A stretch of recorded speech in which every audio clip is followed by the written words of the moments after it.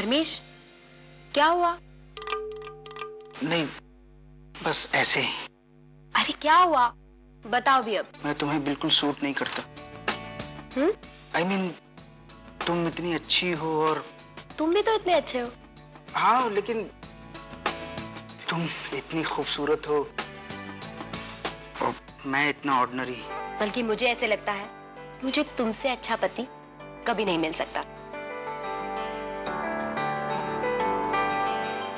ऐशु इसलिए अभी ज़्यादा सोचो मत और शांति से खाना खाओ।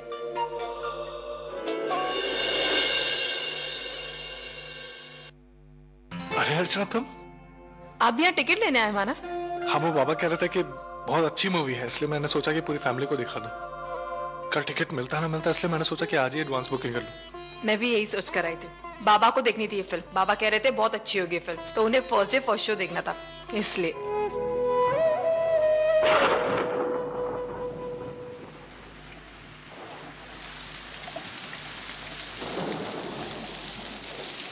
मानव, आइए ना।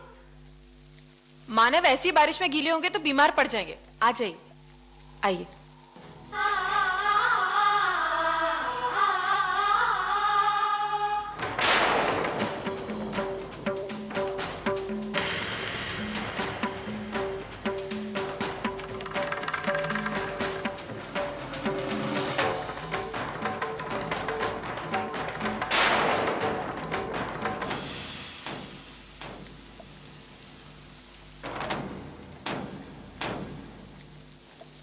शामनी ये मानव लोग कह रहे थे कि मानव का उसकी नई सुपरवाइजर के साथ कुछ चल रहा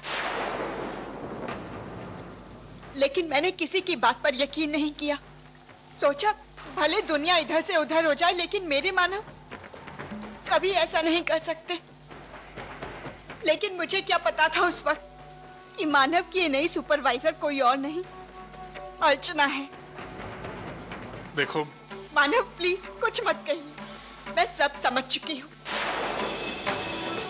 मानव लोग बातें करते हैं क्योंकि वो आपका अतीत नहीं जानते। लेकिन मैं तो आपका अतीत जानती हूँ ना। आप दोनों के बीच में क्या रिश्ता है? एक दूसरे के लिए आपके दिल में क्या जज्बात है? मैं सब अच्छी तरह से समझती हूँ। मैंने तुम वेलकम अर्चना। मानव की ज़िंदगी में तुम्हारा फिर से स्वागत है। एक साल बीत चुका है, लेकिन तुम बिल्कुल नहीं बदली। पहले भी तुम मेरे साथ ऐसी चाले चला करती थी, और अब भी वही कर रही हो तुम। बस इस बार मुझे तुम तक पहुँचने में थोड़ी सी देर हो गई। पर कोई बात नहीं, देर से ही सही सच्चाई तो पता चली ना मुझे। अब ना ही मुझे और कुछ कहना है और ना ही कुछ सुनना है।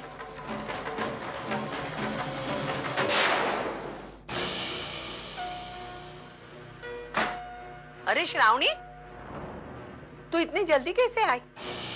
अपनी बहन से मिलने गई थी ना? अर्चना वापस आ गई है मानव की ज़िंदगी में। मानव जहाँ काम करते हैं, उस कंपनी की एडमिनिस्ट्रेटिव सुपरवाइजर बनकर आई है वो। न जाने कितने दिनों से दोनों एक साथ काम कर रहे हैं। लेकिन मानव ने मुझे बताना ज़रूरी नहीं समझा। पिछले आठ महीने आठ महीने से मानव उस फैक्ट्री में काम कर रहे हैं। पर उन्होंने मुझे आज तक नहीं बताया कि उस फैक्ट्री का मालिक सतीश है।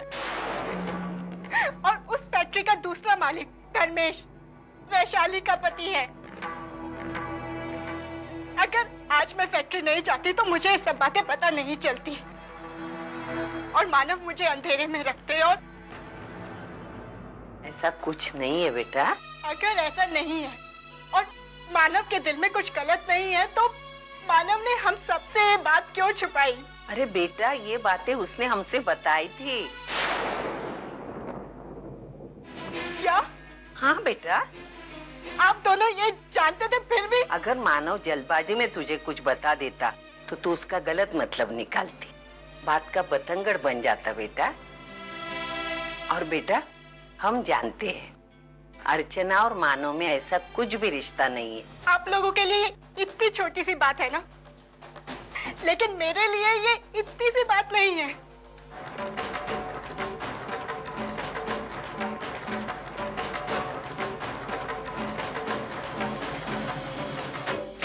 क्या हुआ अर्जु तू परेशान है क्या? कोई बात है तो मुझे बता ना।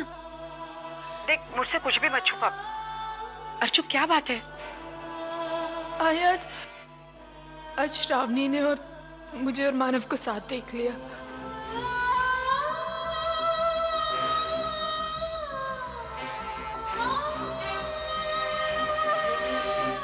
आई मुझे जिस बात का डर था ना, वही हुआ है। मैं उन्हीं सारी उलझनों में फिर से बंद कर रह गई। मुझे ऐसा लग रहा है जैसे मैं मैं एक साल पीछे चली गई हूँ आई। आई मैं मैं क्या करूँ? मेरी कुछ समझ में नहीं आ रहा है। अच्छा तो एक काम कर। तू श्रावणी से जाकर मिल। और जो भी सच्चाई है ना उसे साफ़ साफ़ बता दे। ठीक है। हाय हाय शार्टिंग है? अरे वो गुस्से से अंदर जाके दरवाज़ा लगा के बैठी है।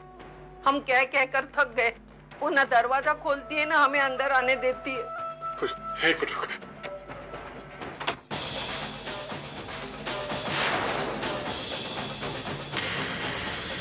मैंने फैसला कर लिया है। मैं ये घर छोड़कर जा रही हूँ। अकेली नहीं, अपने बच्चे के साथ।